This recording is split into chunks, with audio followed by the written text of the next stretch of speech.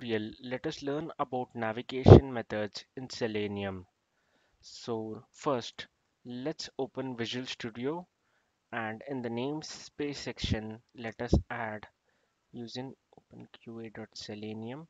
And uh, in this tutorial, let us test in Chrome browser. So I'm going to add selenium.chrome browser. So first, let's create a new instance of Google Chrome uh, web browser? New Chrome driver. And first navigate method as you can see here.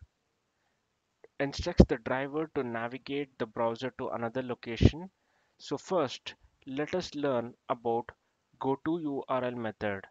Go to URL method goes to a specific uh, URL which you have added here.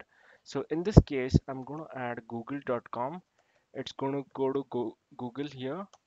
And uh, let us click on run. As you can see it is building the solution. It's creating a new instance of Chrome browser and it is opening google.com now to maximize this window all you need to do is driver dot manage dot window dot maximize. This syntax this statement will maximize the browser. Maximize the browser let's run this program. It is opening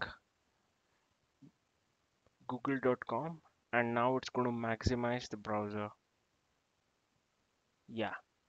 So now let's navigate to facebook.com driver dot navigate dot go to url www.facebook.com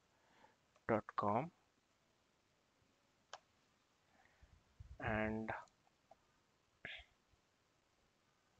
as you can see it is creating a browser.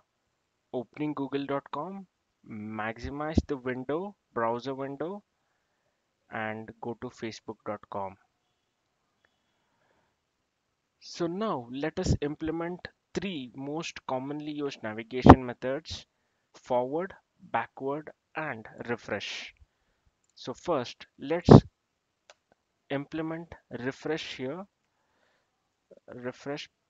So all you need to do is driver dot navigate dot refresh. This method will refresh the web page. And to go backward you have to do is driver dot navigate dot back which will go to google.com in this case. And again to go back forward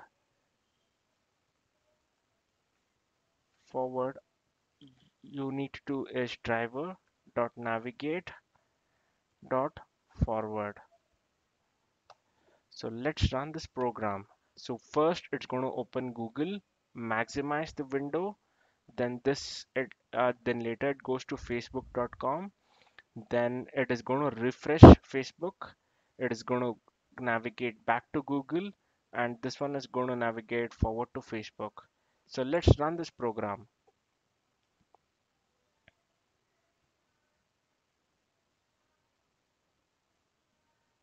It has created Google Chrome instance.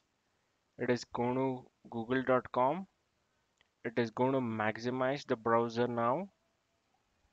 Now it is going to facebook.com now it is refreshing again back to Facebook going back to Google and now it's going to come back to Facebook.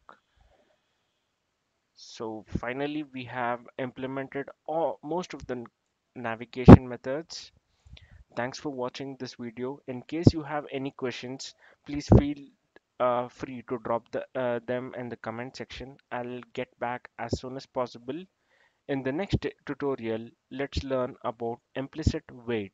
Thanks for watching this video.